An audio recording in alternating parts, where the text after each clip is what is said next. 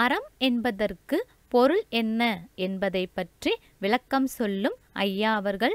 வாங்க என்ன சொல்றாங்கன்னு கேட்கலாம். நீடி ஆயுள் தரும் மனமாய் சட்டிடும் மரணமில்லா பெருவாளுக்கு தரக்கூடிய திருவடியை திருவடி தான் அதுதான் நமக்கு பெரியோர். பெரியோர் திருவடியே நமக்கு பாதுகாவல். பெரியார் துணை கோடல் அவன் திருவடியே நமக்கு துணையாக இருக்கணும். அப்போ வள்ளுவன் சொன்ன நோக்கம் பெரியாரை துணை கோடல் அறநெறிந்து மூத்த அறிவுடையார் கேள்வி அறத்தை பற்றி நன்கு அறிந்திருக்க வேண்டும். அறம்னா என்னன்னு இன்று உன் நீ பேசினால் அது பிறர் மனம் புண்படக்கூடாது. நீ பேசினால் அது வஞ்சனை இருக்கக்கூடாது. அது அறம். நீ உண்ணுகின்ற உணவு? பிறர் வருத்தி வந்திருக்கக்கூடாது. வருத்தி வஞ்சித்து வந்தால் அறம் அல்ல என்றார். உடுக்கின்ற உடை அதுவும் அதே தான் பிறர் வஞ்சிக்காத பிறர் மனநோகாது இருக்க வேண்டும். உன்னுடைய செயலிலும் பிறர் மனநோகக்கூடாது. நீ உண்ணுகின்ற உணவிலும் பிறர் மனநோக்கூடாது நீ உடுத்துகின்ற உடையிலும் மன பிறர் வருந்தக்கூடாது. உன் செய்கையில் பிறர் வருந்தாமல் இருந்தால் எதுவோ அதுவே அறம். உன் செய்கையில் பிறர் ஐயோ இப்படி பாவி செய்து விட்டானே என்று நினைத்தால் அது அறமல்ல. அது அறநறிந்து. அறம் எதுன்றார் தியானம் உருகி புலால் உண்ணாதிருத்தல் அறம். பொய் சொல்லாதிருத்தல் அறம். பொறாமை படாதிருத்தல் அறம். பிற சொத்தை கவராதிருப்பது அறம். பேராசை இல்லாதிருப்பது அறம். உயிர்கொலை செய்யாதிருப்பது அறம்.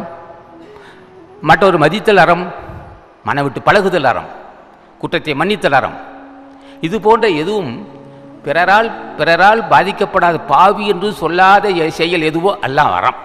இப்போ புலால் உண்ணாதிருத்தல் உயிர்கொலை செய்யாதிருத்தல். இது போன்ற ஒவ்வொரு செயலும் பிறருக்கு நன்மையான காரியம் செய்து தன்னை காப்பாற்றிக் கொள்ள என்னுடைய செயல்கள் என்னுடைய சொல்லும் செயலும் என் நான் பாவியாகாதிருக்கிறேன். என்றைய பொழுதில் என்னுடைய சொல்லாலும் செயலாலும் நான் பாய் பாவியாகவில்லை.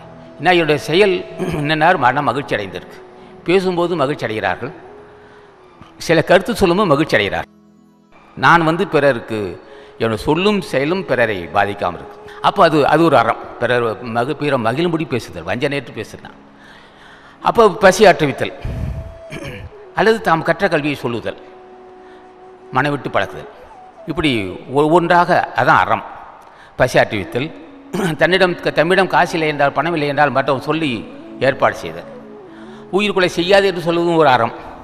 தான் மட்டும் செய்யாது இருக்குது மட்டுமல்லாது மற்ற உயிர்கொலை செய்யாதீர்.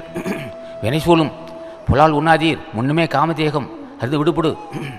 மனைவியிடம் கொடுமை மனைவியை கொடுமை செய்து விடாதீர்கள். அவள் வெளியே தெரியாமல் நொந்து விடுவாள். அவள் வெளியே தெரியாமல் நொந்தால் உன் வாழ்வு பால்பட்டு விடும் அம்மா மனைவி கணவனை வந்து வாடா போடான்னு பேசாதம்மா. அது அவன் வசதி இல்லாதவன் தான். வசதி இல்லாத இருந்தாலும் அவனை வாடா போடான்னு பேசுனா வெளியே தெரியாமல் நொந்து போவாம்மா. அது நல்லதில்லை. வினை சூழும் என்று சொல்லுவதும் அறம். இது தன் அனுபவத்தில். ஆசானது அருளுரைகளை தொடர்ந்து கேட்க அரங்கர் டிவிக்கு லைக் பண்ணுங்க சப்ஸ்கிரைப் பண்ணுங்க. மறக்காம பெல் பட்டனையும் கிளிக் பண்ணுங்க.